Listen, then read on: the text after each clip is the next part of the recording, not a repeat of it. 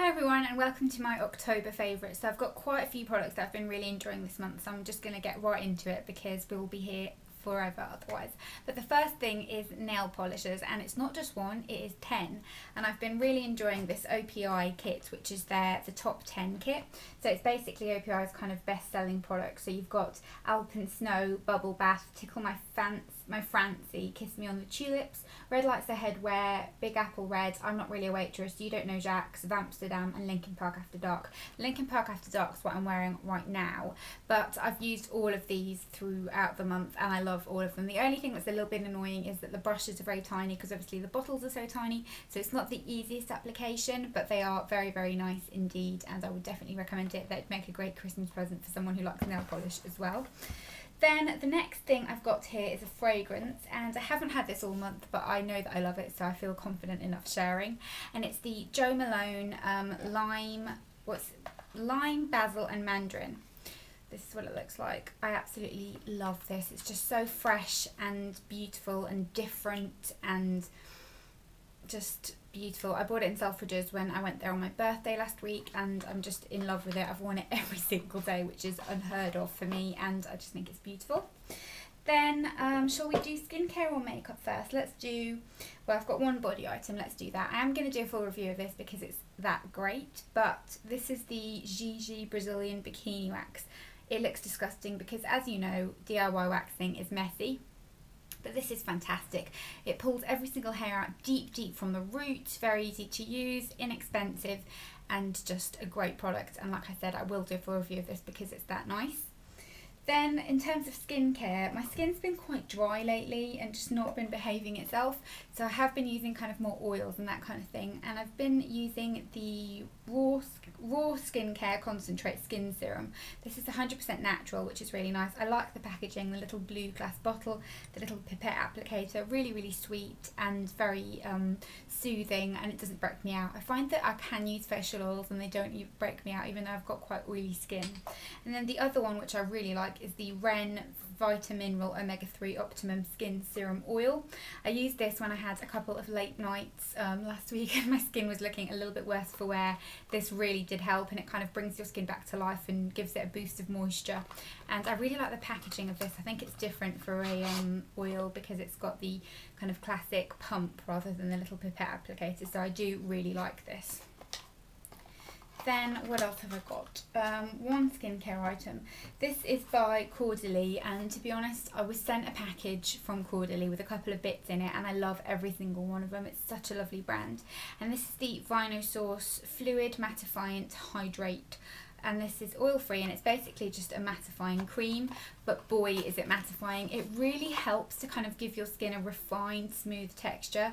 That's what it looks like. Just really really nice and easy to use and really effective. It's the most effective mattifying um, cream I've ever used. It kind of acts more like a primer than a lotion. Really like this especially if you've got quite open pores. It's really great then I have got one more nail polish and this actually represents the whole thing and I am going to do a full review about the Sensationail kit but this is from Dusk Till Dawn. I'm wearing this on my toes. I really like it for toes. I don't love it as much for hands which is um, a bit unusual to say I suppose but for toes really like this. It's really nice. Then everything else I've got in here is makeup. I have been loving makeup lately and I've got two lip products first. This one is by Revlon and it's their Colour Burst Lip um, gloss in Adorned. Beautiful, beautiful, shocking bright pink colour. very pigmented, doesn't move around and just a great, great all-round lip gloss. Very nice for this time of year if you want something very party appropriate. And then this is by 17 and it's their Infeared sorry, um, lipstick. It looks darker than it is in the tube. It's very, very pretty. I'll swatch it here for you it's just a kind of true red, very pretty for this time of year and flattering on different skin tones. And I like the formulation of these lipsticks, it's really pretty. So that's that. And then for eyes, I've been going back to my beloved Maybelline Colour Tattoo in On and On Bronze. It's just this kind of silvery taupe colour, lovely. I wish they did more shades of these that I like because I feel like the colours are a bit weird. But this one is just beautiful and it's very, very appropriate for autumn. And then I've got a concealer that I've been really loving this month. This is the 17 Stay Time Concealer. I've got a couple of 17 bits because they did send me um, a package to try some products and I've been loving the foundation and the concealer. So I did a kind of demo of those a couple of videos back. I'll try and link that down below. But both of these I love. The foundation is amazing full coverage. It's just beautiful beautiful foundation for six pounds and the concealer is really lovely as well they did send me a couple of other concealers but this is my favorite and then my favorite favorite product of this month favorite of favorites is by soap and glory and this is their archery brow tint and and shaping pencil which looks like this it's just amazing. It's got kind of felt tip on one end, a pencil on the other, and it's just beautiful. I'm wearing it in my brows today, and it just gives a really beautiful kind of defined finish, but not too strong and fake looking. It's a really, really, really lovely product, and I love it. And then that is it for beauty products. Then I've just got a candle, and I've actually burnt this out, but I'm going to repurchase it. And it's the Kringle Candle Autumn Winds candle and it just smells really autumnal and kind of wintry but not Christmassy and I feel like that's how it tends to go with candles. You have ones that smell like Christmas and then you get the kind of more um, deep strong winter scents and those are the ones I tend to prefer. I don't like the kind of really sugary scents that you get around Christmas time but I do really like this and it's very warm and kind of cozy. It's a cozy scent.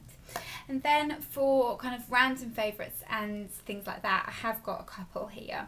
I've written them down because otherwise I forget. So my favourite TV show of the month has been The Face, which is a reality show with Naomi Campbell, Erin O'Connor, Caroline, Caroline, oh, that's an email notification, Caroline Winberg, I think her name is. Um, but it's basically a modelling kind of program, and I love it. I love Naomi Campbell. I know she's quite a controversial personality. I tend to like controversial personalities, but I love her. I think she's just stunning and amazing, and I think she's just great. So I've been really, really enjoying that. I think it's on Sky HD Atlantic or whatever that channel's called, but um, very, very good program if you like that sort of thing. And I've also been enjoying Homeland. I'm kind of struggling to get into Homeland a little bit because it's annoying me that Brody's not in it very much because I love him and he's my favourite. And the whole Carrie story is really good, but you do kind of feel sorry for her. And I don't know, I'm kind of struggling to get into it. I do love it, but it's not what it was for me without Brody. And I know he's leaving at the end of the season, so I don't know. I just hope they're not going to bring him back for like two episodes and then make him leave because I will be a bit heartbroken because I love Damian Lewis. And then the blogger um, and YouTuber that I've been loving this month is Brit's Beauty Blog. I think British Beauty Blog. I can't remember exactly what her name is. Sorry, I'm really crap at it. But I will um, put an annotation here.